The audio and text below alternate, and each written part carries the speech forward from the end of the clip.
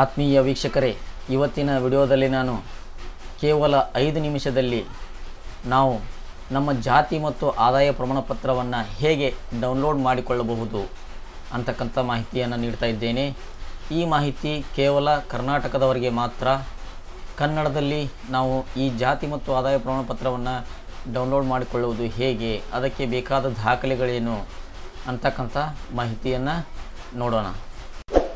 ನೀವು first time ನಮ್ಮ ಚಾನಲನ್ನು ನೋಡ್ತಾ ಇದ್ದರೆ ನಮ್ಮ ಚಾನಲ್ಗೆ ಸಬ್ಸ್ಕ್ರೈಬ್ ಆಗಿ ಹಾಗೂ ಪಕ್ಕದಲ್ಲಿ ಕಾಣುವ ಬೆಲ್ ಐಕನನ್ನು ಕ್ಲಿಕ್ ಮಾಡಿ. ಜಾತಿ ಮತ್ತು ಆದಾಯ ಪ್ರಮಾಣ ಪತ್ರವನ್ನು ಪಡೆಯಲು ನಮಗೆ ಬೇಕಾಗಿರತಕ್ಕಂಥ, ಅವಶ್ಯವಾಗಿರತಕ್ಕಂಥ ದಾಖಲೆಗಳೇನೆಂದರೆ ಮೊದಲನೇದಾಗಿ ಮೊಬೈಲ್ ನಂಬರ್ ಮತ್ತು ಎರಡನೇದಾಗಿ ರೇಷನ್ ಕಾರ್ಡ್ ನಮ್ಮಲ್ಲಿ ಲಭ್ಯವಿರಬೇಕು. ನಾವು ಕಂಪ್ಯೂಟರ್ನಲ್ಲಿ ನಾಡ ಕಚೇರಿ ಎಂದು ಟೈಪ್ ಮಾಡಿ ಸರ್ಚ್ ಕೊಡಬೇಕು. ನೀವು ಇಲ್ಲಿ ಗಮನಿಸ್ತಾ ಇರ್ಬೋದು ನಾಡ ಕಚೇರಿಯ ಒಂದು ಮೇನ್ ವೆಬ್ಸೈಟ್ ಕಾಣಿಸ್ತಾ ಇದೆ. ನೀವು ಇಲ್ಲಿ ನಾಡ ಕಚೇರಿ ಎನ್ನುವ ಅಕ್ಷರಗಳ ಮೇಲೆ ಕ್ಲಿಕ್ ಮಾಡಬೇಕು. ಆಗ ನಾಡ ಕಚೇರಿಯ ಒಂದು ಮೇನ್ ವೆಬ್ಸೈಟ್ ಓಪನ್ ಆಗುತ್ತೆ. ಅಲ್ಲಿ ನೀವು ಮೇಲ್ಗಡೆ ಗಮನಿಸ್ತಾ ಇರ್ಬೋದು, ಹೋಮ್ ಅಬೌಟ್ ಆನ್ಲೈನ್ ಅಪ್ಲಿಕೇಶನ್ಸ್ ಹೀಗೆ ಬಹಳಷ್ಟು ಮಾಹಿತಿಗಳು ಕಾಣಿಸ್ತಾ ಇದ್ದು, ಅದರಲ್ಲಿ ನಾವು ಆನ್ಲೈನ್ ಅಪ್ಲಿಕೇಶನ್ ಅಂತಕ್ಕಂಥ ಆಪ್ಷನ್ ಮೇಲೆ ಕ್ಲಿಕ್ ಮಾಡಬೇಕಾಗುತ್ತೆ. ಆನ್ಲೈನ್ ಅಪ್ಲಿಕೇಶನ್ನಲ್ಲಿ ನೀವು ಅಪ್ಲೈ ಆನ್ಲೈನ್ ಅಂತಕ್ಕಂಥ ಆಪ್ಷನ್ ಮೇಲೆ ಕ್ಲಿಕ್ ಮಾಡಬೇಕು. ಆಗ ನಿಮ್ಮ ಮೊಬೈಲ್ ನಂಬರನ್ನು ಕೇಳುತ್ತೆ. ಅಲ್ಲಿ ನೀವು ನಿಮ್ಮ ಮೊಬೈಲ್ ನಂಬರನ್ನು ಹಾಕಬೇಕು. ಮೊಬೈಲ್ ನಂಬರನ್ನು ಹಾಕಿ ಕೆಳಗಡೆ ಕಾಣಿಸ್ತಾ ಇರ್ತಕ್ಕಂಥ ಗೆಟ್ ಒ ಟಿ ಪಿ ಅಂತಕ್ಕಂಥ ಆಪ್ಷನ್ ಮೇಲೆ ಕ್ಲಿಕ್ ಮಾಡಬೇಕು. ಈ ಥರನಾಗಿ ಕ್ಲಿಕ್ ಮಾಡಿದಾಗ ಇಲ್ಲಿ ನೀವು ಮೇಲ್ಗಡೆ ನೋಡ್ತಾ ಇರ್ಬೋದು. O T P send to the mobile number use O T P as your password ಅಂತಕ್ಕಂಥ ಆಪ್ಷನ್ ಬರ್ತಾ ಇದೆ. ಅಲ್ಲಿ ನಾವು ಓಕೆ ಅಂತಕ್ಕಂಥ ಬಟನ್ ಮೇಲೆ ಕ್ಲಿಕ್ ಮಾಡಬೇಕು. ಅಲ್ಲಿ ನಿಮ್ಮ ಮೊಬೈಲ್ಗೆ ಬಂದಿರತಕ್ಕಂಥ ಒಂದು ಒ ಟಿ ಪಿಯನ್ನು ನೀವು ಎಂಟ್ರಿ ಮಾಡಬೇಕು.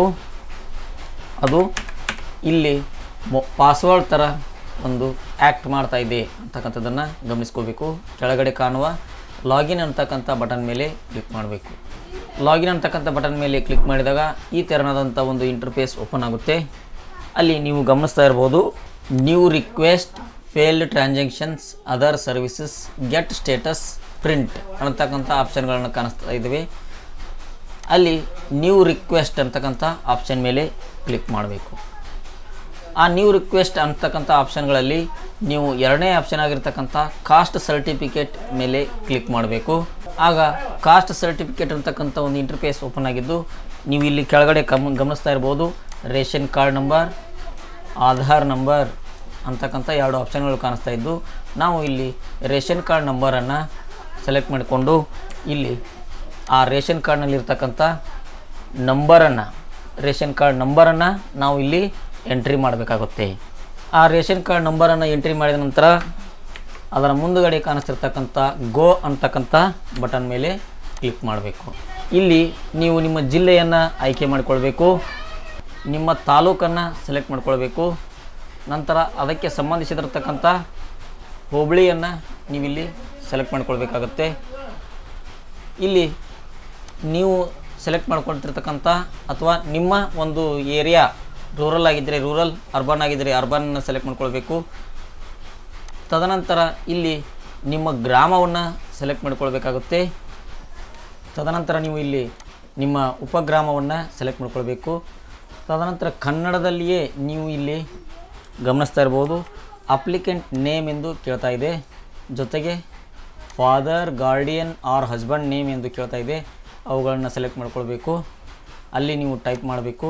ನಂತರ ರಿಸರ್ವೇಷನ್ ಕ್ಯಾಟಗರಿಯನ್ನು ನೀವಿಲ್ಲಿ ಹಾಕಬೇಕಾಗುತ್ತೆ. ಇಲ್ಲಿ ನಾನು ಈಗ ಬೇಕಾಗಿರ್ತಕ್ಕಂಥ ವಿದ್ಯಾರ್ಥಿಯ ಹೆಸರನ್ನು ಸೆಲೆಕ್ಟ್ ಮಾಡ್ಕೊಂಡಿದ್ದೇನೆ.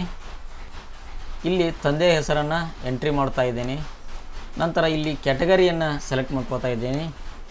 ನಂತರ ಕೆಳಗಡೆ ಕಾಣ್ತಾ ಇರ್ತಕ್ಕಂಥ ಸರ್ಚ್ ಅಂತಕ್ಕಂಥ ಬಟನ್ ಮೇಲೆ ಕ್ಲಿಕ್ ಮಾಡಬೇಕಾಗುತ್ತೆ. ತದನಂತರ ನೀವು ಇಲ್ಲಿ ಗಮನಿಸ್ತಾ ಇರ್ಬೋದು ಕೆಳಗಡೆ ಆ ವಿದ್ಯಾರ್ಥಿಯ ಅಥವಾ ನಮಗೆ ಬೇಕಾಗಿರ್ತಕ್ಕಂಥ ಇಲ್ಲಿ ರೇಷನ್ ಕಾರ್ಡ್ ನಂಬರ್, ಆ ವಿದ್ಯಾರ್ಥಿಯ ಹೆಸರು, ಆ ವಿದ್ಯಾರ್ಥಿಯ ತಂದೆ ಹೆಸರು, ಆ ವಿದ್ಯಾರ್ಥಿಯ ತಾಯಿ ಹೆಸರು ಕಾಣಿಸ್ತಾ ಇಲ್ಲ. ಇಲ್ಲಿ ಅಡ್ರೆಸ್, ತದನಂತರ ಇಲ್ಲಿ ಕ್ಯಾಟ್, ಕಾಸ್ಟನ್ನು, ಅಂದರೆ ರಿಸರ್ವೇಷನ್ ಕ್ಯಾಟಗರಿಯನ್ನು ನೋಡ್ತಾ ಇದ್ದೇವೆ. ಇಲ್ಲಿ ಕಾಸ್ಟನ್ನು ನೋಡ್ತಾ ಇದ್ದೇವೆ. ಇಲ್ಲಿ ಆ್ಯನ್ಯುವಲ್ ಇನ್ಕಮನ್ನು ನೋಡ್ತಾ ಇದ್ದೇವೆ. ಇಲ್ಲಿ ಟೈಪ್ ಸಿ ಮತ್ತು ಇಲ್ಲಿ ರಿಜೆಕ್ಟ್ ಅಂತಕ್ಕಂಥ ಆಪ್ಷನನ್ನು ನೋಡ್ತಾ ಇದ್ದೇವೆ. ಇಲ್ಲಿ ಇರ್ತಕ್ಕಂಥ ಎಲ್ಲ ಮಾಹಿತಿಗಳು ಸರಿಯಾಗಿವೆಯೋ ಇಲ್ಲವೋ ಅಂತಕ್ಕಂಥದ್ದನ್ನು ಗಮನಿಸಿಕೊಂಡು ಇಲ್ಲಿ ಕಾಣಿಸ್ತಿರ್ತಕ್ಕಂಥ ಚೌಕ್ ಬಾಕ್ಸ್ನಲ್ಲಿ ನಾವು ಟಿಕ್ ಮಾಡಬೇಕಾಗುತ್ತೆ. ಈ ಚೌಕ್ ಬಾಕ್ಸನ್ನು ಟಿಕ್ ಮಾಡಿ ಕೆಳಗಡೆ ಕಾಣುವ ಪ್ರಿವ್ಯೂ ಅಂತಕ್ಕಂಥ ಆಪ್ಷನ್ ಮೇಲೆ ಕ್ಲಿಕ್ ಮಾಡಬೇಕಾಗುತ್ತೆ. ಇಲ್ಲಿ ಓವರ್ ದ ಕೌಂಟರ್ ಪ್ರಮಾಣ ಪತ್ರದ ಪೂರ್ವ ಮುದ್ರಿತ ವೀಕ್ಷಣೆ ಮಾಹಿತಿಯನ್ನು ನಾವಿಲ್ಲಿ ನೋಡ್ಬೋದು. ಇಲ್ಲಿ ನಮ್ಮ ಆರ್ ಡಿ ನಂಬರ್ ಈ ಇದಕ್ಕೆ ಸಂಬಂಧಿಸಿರತಕ್ಕಂಥ ಜಿಲ್ಲೆ, ತಾಲೂಕು, ಹೋಬಳಿ, ಗ್ರಾಮ ಈ ಎಲ್ಲ ಪ್ರದೇಶ ಮಾಹಿತಿಯನ್ನು ನೋಡ್ತಾ ಇದ್ದೇವೆ. ತದನಂತರ ವೀಕ್ಷಣೆಯ ನಂತರ ಅರ್ಜಿದಾರರ ಕೋರಿಕೆಯ ಮಾಹಿತಿಯನ್ನು ನೋಡ್ತಾ ಇದ್ದೇವೆ. ಈ ಮಾಹಿತಿಯನ್ನು ನಾವು ಡೌನ್ಲೋಡ್ ಅಥವಾ ಪ್ರಿಂಟ್ ಮಾಡಿಕೊಳ್ಬೇಕಾಗುತ್ತೆ ತದನಂತರ ಅಲ್ಲಿ ಬಂದಿರತಕ್ಕಂಥ ಎಲ್ಲ ಮಾಹಿತಿಗಳು ಸರಿಯಾಗಿವೆಯೋ ಇಲ್ಲವೋ ಅಂತಕ್ಕಂಥದ್ದನ್ನು ಗಮನಿಸಿಕೊಂಡ ನಂತರ ಇಲ್ಲಿ ನಾವು all the fields are correct ಅಂತಕ್ಕಂಥ ಆಪ್ಷನ್ ಮೇಲೆ ಕ್ಲಿಕ್ ಮಾಡಬೇಕಾಗುತ್ತೆ. ಒಂದು ವೇಳೆ ಏನಾದರೂ ತಿದ್ದುಪಡಿಗಳಿದ್ದರೆ ನಾವು ತಿದ್ದುಪಡಿಗೆ ನೀಡಬೇಕಾಗುತ್ತೆ. ತದನಂತರ ಇಲ್ಲಿ ಡ್ರಾಫ್ಟ್ ಟು ವ್ಯೂ ಅಂತಕ್ಕಂಥ ಆಪ್ಷನ್ ಮೇಲೆ ನಾವು ಕ್ಲಿಕ್ ಮಾಡಬೇಕು. ಈ ಡ್ರಾಫ್ಟ್ ವ್ಯೂ ಅಂತಕ್ಕಂಥ ಆಪ್ಷನ್ ಮೇಲೆ ಕ್ಲಿಕ್ ಮಾಡಿದಾಗ ನಮ್ಮ ಒಂದು ಜಾತಿ ಮತ್ತು ಆದಾಯ ಪ್ರಮಾಣ ಪತ್ರದ ಒಂದು ಮಾಡೆಲನ್ನು ನಾವಿಲ್ಲಿ ನೋಡ್ತಾ ಇದ್ದೇವೆ. ಈ ಥರನಾಗಿ ನೋಡಿದ ನಂತರ, ಇಲ್ಲಿ ಇರ್ತಕ್ಕಂಥ ಮಾಹಿತಿಯನ್ನು ನೋಡಿದ ನಂತರ, ಇಲ್ಲಿ ಬಲಗಡೆ ಮೂಲೆಯಲ್ಲಿ ಕಾಣುವ ಇಂಟು ಮಾರ್ಕ್ ಮೇಲೆ ಕ್ಲಿಕ್ ಮಾಡಬೇಕಾಗುತ್ತೆ. ನಂತರ ನೀವು ಕೆಳಗಡೆ ನೋಡ್ತಾ ಇರ್ಬೋದು. ಮತ್ತೊಂದು ಆಪ್ಷನ್ ಇಲ್ಲಿ ಬಂದಿದ್ದು, ಪೇ ಸರ್ವಿಸ್ ಫೀ ಅಂತಕ್ಕಂಥ ಆಪ್ಷನ್ ಬಂದಿದ್ದು. ಇಲ್ಲಿ ನಿಮಗೆ ಒಂದು ನೋಟನ್ನು ನೀವು ನೋಡ್ತಾ ಇದ್ದೀರಿ. View the draft copy it is a correct certificate service charge forty R S forty by clicking pay service fee button after successful payment you will be allowed to print the certificate ಅಂತಕ್ಕಂಥ ಆಪ್ಷನನ್ನು ನೋಡ್ತಾ ಇದ್ದೇವೆ. ಅಂದರೆ ನಾವು ಈ option ಮೇಲೆ click ಮಾಡಿದ ನಂತರ ನಾವು ಈ ಒಂದು ಜಾತಿ ಮತ್ತು ಆದಾಯ ಪ್ರಮಾಣ ಪತ್ರಕ್ಕಾಗಿ ನಾವು ನಲವತ್ತು ರೂಪಾಯಿಯನ್ನು ಪೇ ಮಾಡಬೇಕಾಗುತ್ತೆ. ಇಲ್ಲಿ ನೀವು ಗಮನಿಸ್ತಾ ಇರ್ಬೋದು ಇದಕ್ಕೆ ಸಂಬಂಧಿಸಿರ್ತಕ್ಕಂಥ ಒಂದು ಆರ್ ಡಿ ನಂಬರನ್ನು ನೋಡ್ತಾ ಇದ್ದೇವೆ. ಅದನ್ನು ನಾವು ಸೇವ್ ಮಾಡಿಟ್ಕೊಳ್ಬೇಕಾಗುತ್ತೆ. ಅಂದರೆ ಫ್ಯೂಚರ್ ರೆಫರೆನ್ಸ್ಗಾಗಿ ನಾವು ಈ ಆರ್ ಡಿ ನಂಬರನ್ನು ಬರೆದಿಟ್ಕೊಳ್ಬೇಕಾಗುತ್ತೆ. ಕಡ್ಡಾಯವಾಗಿ ನಾವು ಈ ಆರ್ ಡಿ ನಂಬರನ್ನು ಒಂದು ಕಡೆ ಬರೆದಿಟ್ಕೊಂಡು ಇಲ್ಲಿ ಕೆಳಗಡೆ ಕಾಣುವ ಓಕೆ ಬಟನ್ ಮೇಲೆ ಕ್ಲಿಕ್ ಮಾಡಬೇಕು. ಕ್ಲಿಕ್ ಮಾಡಿದಾಗ ನೀವೀಗ ಗಮನಿಸ್ತಾ ಇರ್ಬೋದು ನೀವು ನಲವತ್ತು ರೂಪಾಯಿ ಹಣವನ್ನು ಪೇ ಮಾಡಲಿಕ್ಕೆ ಒಂದು ಪೇಮೆಂಟ್ ಗೇಟ್ವೇ ಪೇಸ್ ಓಪನ್ ಆಗಿದ್ದು, ಈ ನಲವತ್ತು ರೂಪಾಯಿ ಕಾಲ ಕಾಲಕ್ಕೆ ಬದಲಾಗುವ ಸಾಧ್ಯತೆಗಳಿರುತ್ತವೆ. ಇವ ನಾವು ಮಾಡ್ತಿರ್ತಕ್ಕಂಥ ಈ ಸಮಯದಲ್ಲಿ ನಲವತ್ತು ರೂಪಾಯಿ ಇದ್ದು ಇಲ್ಲಿ ಕೆಳಗಡೆ ಕಾಣುವ S B I e pay I wallet ಅಂತಕ್ಕಂಥ ಆಪ್ಷನ್ಗಳಲ್ಲಿ ನಾನು ಎಸ್ ಬಿ ಐ ಇ ಪೇಯನ್ನು ಸೆಲೆಕ್ಟ್ ಮಾಡ್ಕೊಳ್ತಾ ಇದ್ದೇನೆ. ನೀವು ಯಾವುದಾದ್ರೂ ಒಂದು ಆಪ್ಷನನ್ನು ಇಲ್ಲಿ ಸೆಲೆಕ್ಟ್ ಮಾಡ್ಕೊಳ್ಬೋದಾಗಿರ್ತದೆ.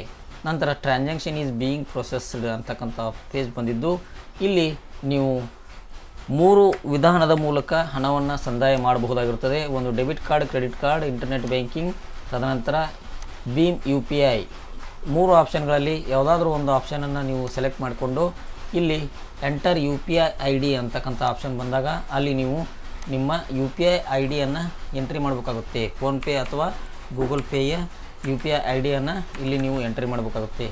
ತದನಂತರ ಇಲ್ಲಿ ಮುಂದುಗಡೆ ಕಾಣಿಸ್ತಿರ್ತಕ್ಕಂಥ validate U P I V P A number ಅಂತಕ್ಕಂಥ ಆಪ್ಷನ್ನಲ್ಲಿ ನೀವು ವ್ಯಾಲಿಡೇಟ್ ಆ ಪಿನ್ನನ್ನು ಕ್ಲಿಕ್ ಮಾಡಬೇಕಾಗುತ್ತೆ.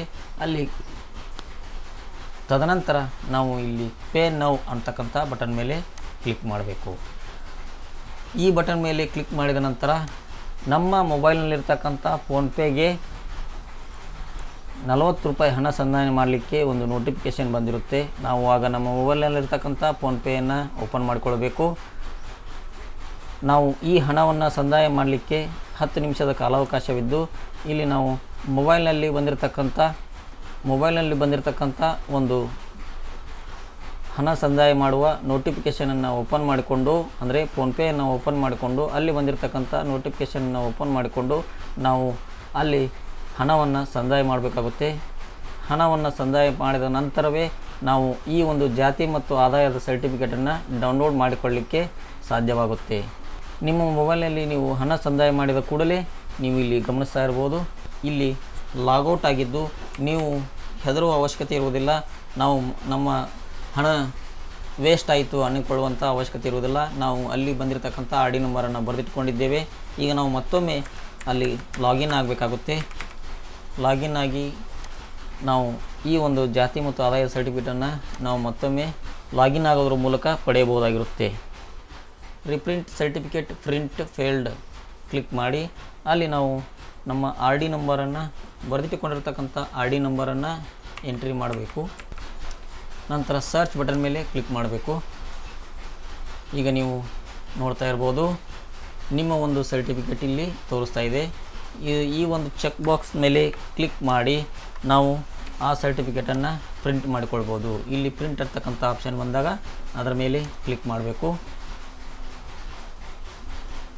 ಕ್ಲಿಕ್ ಮಾಡಿದಾಗ ನೀವೀಗ ಗಮನಿಸ್ತಾ ಇರ್ಬೋದು, ಪಿ ಡಿ ಎಫ್ ರೂಪದಲ್ಲಿ ನಿಮಗೆ ಒಂದು ಸರ್ಟಿಫಿಕೇಟ್ ಬಂದಿದ್ದು, ಅದನ್ನು ನೀವು ಮೊದಲಿಗೆ ಸೇವ್ ಮಾಡಿಟ್ಕೊಳ್ಬೇಕು.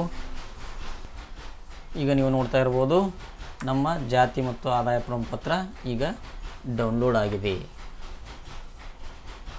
ಈ ತೆರನಾಗಿ ನೀವೀಗ ನೋಡ್ತಾ ಇರ್ಬೋದು, ನಮ್ಮ ಜಾತಿ ಮತ್ತು ಆದಾಯ ಪ್ರಮಾಣಪತ್ರದ ಪಿ ಡಿ ಎಫ್ ರೂಪದಲ್ಲಿ ನಮಗೆ ಲಭ್ಯವಾಗಿದ್ದು, ಇದನ್ನು ನೀವು ಪ್ರಿಂಟ್ ಮಾಡಿಟ್ಕೊಳ್ಬೋದು.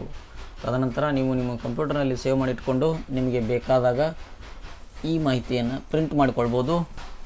ಇಲ್ಲಿ ನೀಡಿರತಕ್ಕಂಥ ಮಾಹಿತಿ ತಮಗೆ ಉಪಯುಕ್ತವೆನಿಸಿದಲ್ಲಿ ಈ ವಿಡಿಯೋಗೆ ಒಂದು ಲೈಕನ್ನು ನೀಡಿ ಹಾಗೂ ಈ ವಿಡಿಯೋವನ್ನು ನಿಮ್ಮ ಸ್ನೇಹಿತರೊಂದಿಗೆ ಕೂಡ ಶೇರ್ ಮಾಡಿ. ಧನ್ಯವಾದಗಳು.